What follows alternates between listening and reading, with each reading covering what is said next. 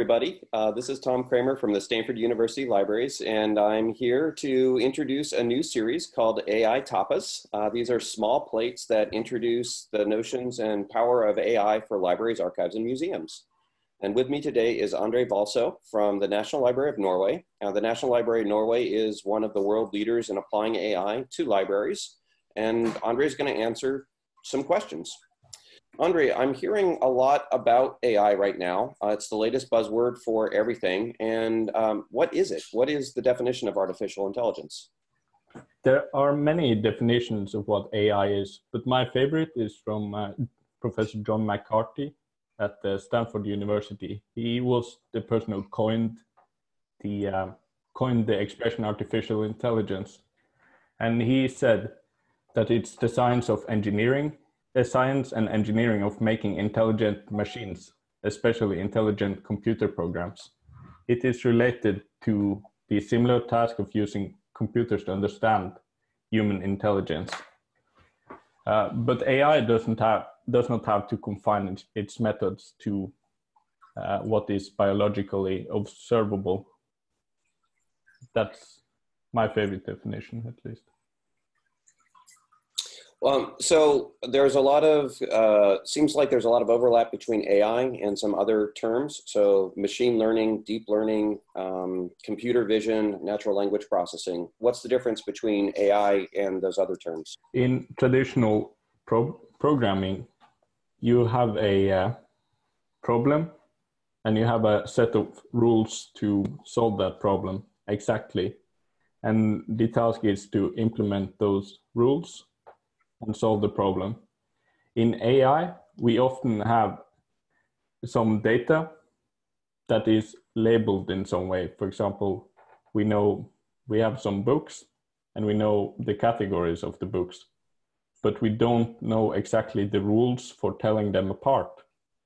So we feed the data into the algorithm and the AI learns to uh, separate its data, it learns rules for solving the problem without any human intervention. Uh, so you could use AI for traditional knowledge classification tasks like metadata description or classification.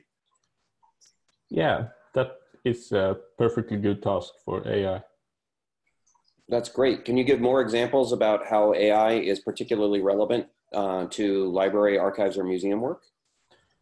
Yes.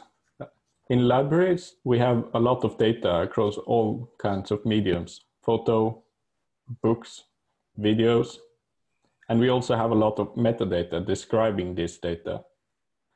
And every day we get new data that needs to be classified.